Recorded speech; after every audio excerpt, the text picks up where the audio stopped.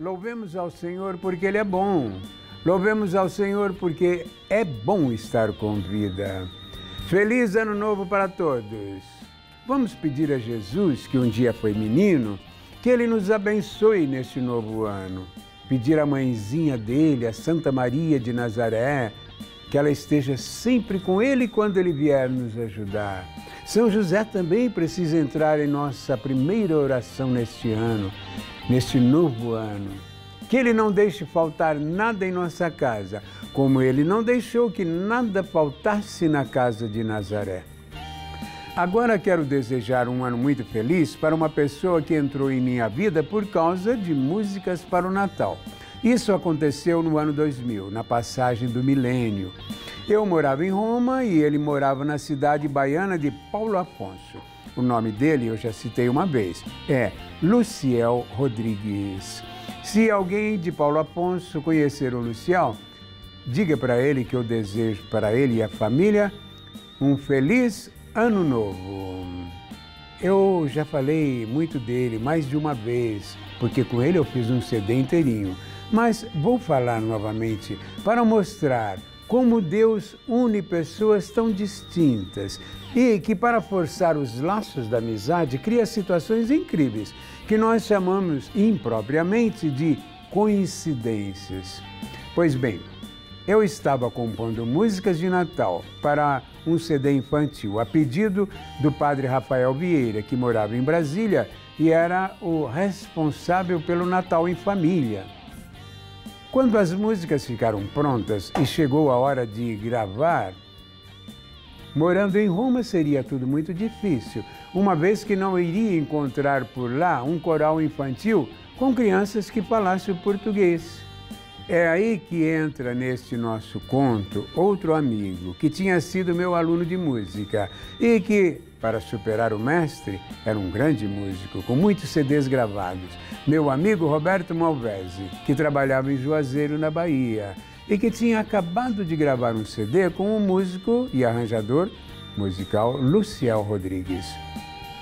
Com cara e coragem, telefonei para ele e marcamos um encontro em São Paulo, ou melhor, em Paulo Afonso. Eu ia para São Paulo. Durante minhas férias, a gente ia se encontrar lá. E aqui entram as coincidências provocadas por Deus.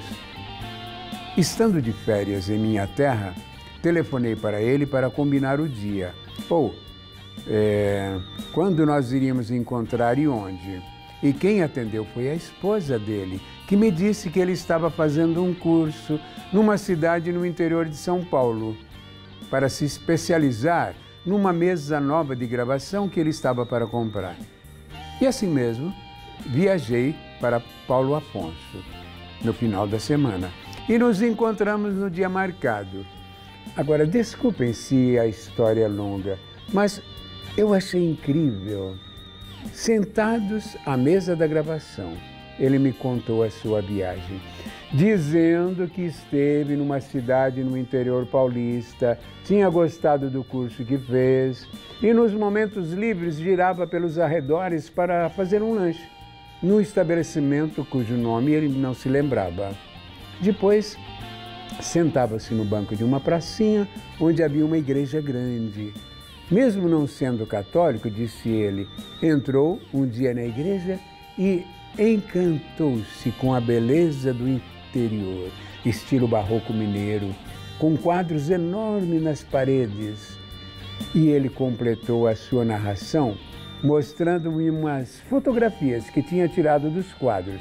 Peguei as fotos e não acreditei, não era possível. Era a igreja da minha terra, da minha infância, onde eu estive lá um dia antes, no Santuário do Perpétuo Socorro, em São João da Boa Vista. Disse ele que se sentava nos bancos e ficava olhando e fazendo suas preces. Aí eu me rebelei. Ou melhor, eu contei que eu o tinha visto sentado na igreja e não queria imaginar que fosse ele o músico com quem eu, no dia seguinte, iria me encontrar em Paulo Afonso. A rua onde ele tinha feito o curso ficava atrás da casa de meus pais. O local onde ele tomava os lanches era o supermercado do meu irmão. Aí nós ficamos amigos. E com ele eu gravei o melhor CD que já fiz até hoje: Natal da Criança. O Natal da Passagem do Milênio.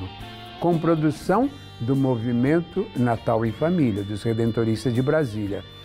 Para vocês sentirem a musicalidade do Luciel, nós vamos ouvir o canto que se chama Na Ponta dos Pés os Pastores Chegaram, com interpretação da cantora Andréia Garcia e coral infantil de Paulo Afonso. Na ponta dos pés, olhem só, os pastores chegaram, pisando mansinho e com jeito as palhas no chão olhando a mãezinha divina com o filho no colo, trazendo presentes de ovelhas, cabras, leite, queijo, de peles e pão. A música fala dos pastores que entraram na gruta na ponta dos pés.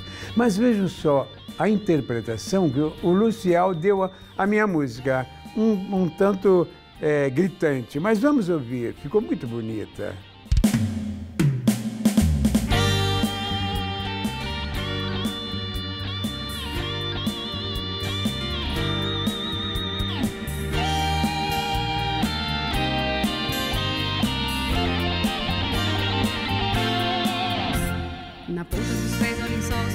Chegaram, pisando macio e com jeito a palha do chão. Olhando a mãezinha divina com o filho no colo, trazendo presentes de ovelhas e cabras, de leite, de queijo, de peles e pão. Na ponta dos pés, olhem só, os pastores chegaram, pisando macio e com jeito a palha no chão. Olhando a mãezinha divina com o filho no colo, trazendo presentes de ovelhas e cabras, de leite, de queijo, de peles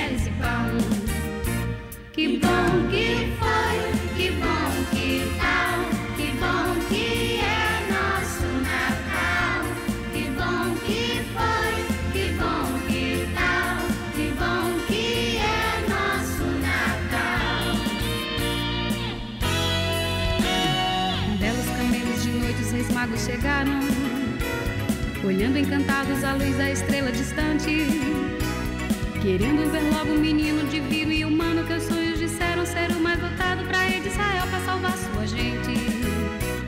Em belos camelos de noite os magos chegaram, olhando encantados a luz da estrela distante. Querendo ver logo o menino divino e humano que os sonhos disseram ser o mais dotado pra ir de Israel pra salvar sua gente. Que bom que foi,